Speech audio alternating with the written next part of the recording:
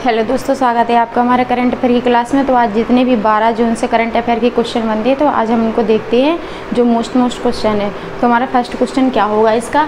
कि हाल ही में प्रधानमंत्री मोदी ने कहाँ पहले राष्ट्रीय प्रशिक्षण सम्मेलन का उद्घाटन किया है? तो प्रधानमंत्री मोदी जी ने कहाँ उद्घाटन किया है? तो ये किया है नई दिल्ली में। कहाँ पर किया नई दिल्ली में। नेक्स्ट होगा कि हाल ही में किसके द्वारा हमारी भाषा, हमारी विरासत नामक प्रदर्शनी का उद्घाटन किया गया है। तो किसके द्वारा किया गया? मीनाक्षी लेखी के द्वारा। किसके द्वारा? मीनाक्षी लेखी के द्वारा। नेक्स्ट होगा कि हाल ही में भारत और कौन सा देश 2030 तक एक बिलियन यूरो का द्विपक्षीय व्यापार करने पर सहमत हुए हैं? तो कौन हुआ है? 2023 तक सर्बिया। किसके साथ? भारत के साथ। नेक्स्ट होगा कि हाल ही में किस राज्य के मुख्यमंत्री ने द्विवार्षिक एकीकृत जल संसाधन कार्य योजना का शुभारंभ किया है? तो किस राज्य ने किया है? तो ये किया है हरियाणा राज्य ने। किसने किया? हरियाणा राज्य ने। नेक्स्ट होगा कि हाल ही में किसके द्वारा? हाल ही में, हाल ही में किसने स्ट्राइक वन कोपर्स के कमांडर के रूप में पदभार संभाला है। तो किसने पदभार संभाला है? तो ये संभाला संजय मिश्रा ने। किसने? संजय मिश्रा ने। नेक्स्ट होगा कि हाल ही में कौन सा देश जुलाई 2023 तक बेलारूस के सामरिक परमाणु हथियार तैनात करेगा? तो कौन सा देश करेगा? ये करेगा रूस। नेक्स्ट होगा कि हाल ही में किस बैंक ने आई एम अड्यार अड्यार इजमी अभियान शुरू किया है? तो किसने किया है? तो ये किया है फेडरल बैंक किसने? फेडरल बैंक ने ये अभियान शुरू किया है।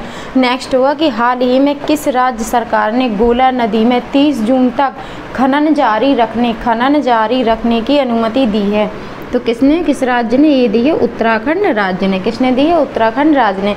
नेक्स्ट होगा कि हाल ही में किसने 2023 Superbet rapid and blitz blitz Poland जीता है? तो किसने जीता है? मैग्नस कार्लसन ने। किसने जीता? मैग्नस कार्लसन ने यह जीता है।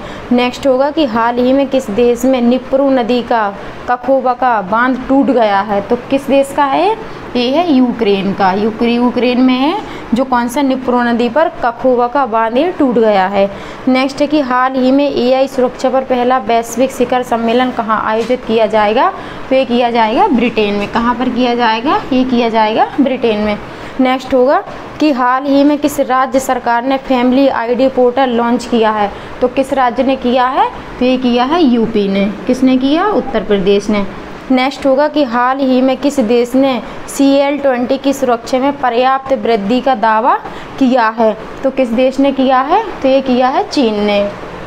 नेक्स्ट होगा कि हाल ही में चर्चा में रहा अमचांग वन्यजीव अभ्यारण्य किस राज्य में है? तो ये किस राज्य में है? ये है असम में।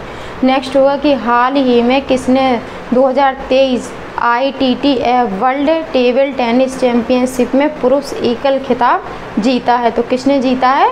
तो हम बताएँगे कौन है फ़ैन जेडोन। फ़ैन जेडोन ने यह पुरस्कार जीता है। किसने जीता? एकल पुरस्कार का। तो दोस्तों, करंट अफेयर की अगर आप क्लास अच्छी लगी हो तो वीडियो को लाइक और शेयर ज़रूर करें। Thank you